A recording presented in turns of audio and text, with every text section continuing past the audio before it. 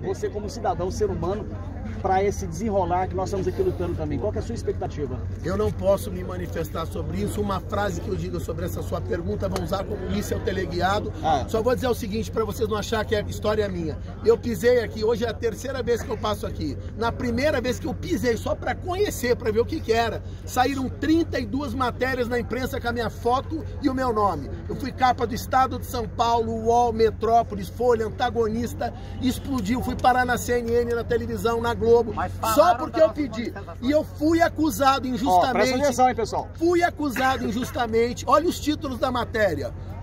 O ACEF, o advogado Bolsonaro, está incitando a multidão, está já querendo me colocar como líder para dar a entender que me mandaram vir é, aqui para movimentar. Exatamente. Queriam usar exatamente. a minha pessoa para prejudicar o presidente. Exatamente. É uma mentira. Eu vim aqui porque quis, porque eu tenho o mesmo direito de todos de vocês. Parabéns. Eu falo como popular, não estou como advogado e nem falando em nome de ninguém, e ninguém me mandou aqui. Eu só falo em meu nome. E ninguém está fazendo nada errado. Liberdade! Inclusive, o Exército Brasileiro Liberdade! autoriza e protege Liberdade! você. Doutor, Parabéns, Você está ao vivo na página